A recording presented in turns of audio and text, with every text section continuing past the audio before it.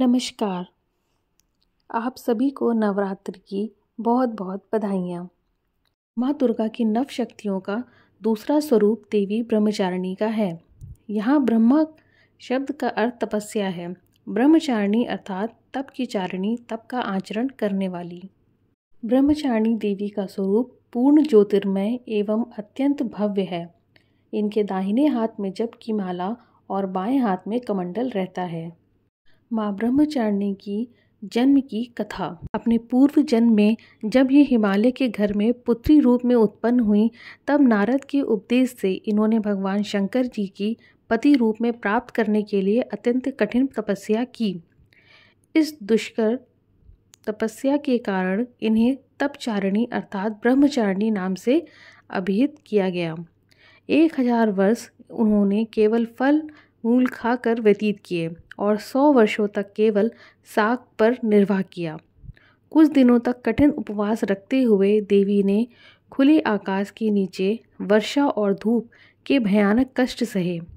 इस कठिन तपस्या के पश्चात तीन हज़ार वर्षों तक केवल ज़मीन पर टूट कर गिरे हुए बेलपत्रों को खाकर वे भगवान शिव की आराधना करती रहीं। इसके बाद उन्होंने सूखे बेलपत्रों को भी खाना छोड़ दिया और कई हज़ार वर्षों तक वे निर्जल और निराहार तपस्या करती रहीं।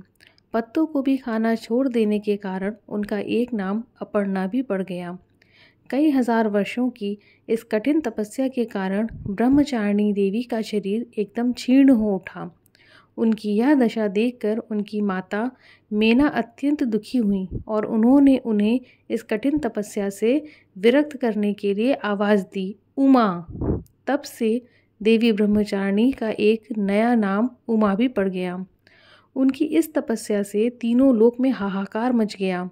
देवता, ऋषि, सिद्धगुण, मुनि सभी देवी ब्रह्मचारिणी की इस तपस्या को अद्भुत पूर्व पूर्णकृत बताते हुए उनकी सराहना करने लगे।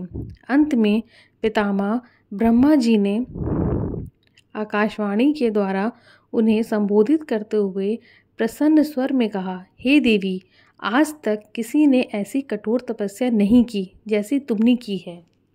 तुम्हारे इस अलौकिक कृत की चारों ओर सराहना हो रही है। तुम्हारी मनोकामना परिपूर्ण होगी। भगवान चंद्रमौली शिव जी तुम्हें पति रूप में प्राप्त अवश्य होंगे। तब तुम तपस्या से विरत होकर घर लौट जाओ।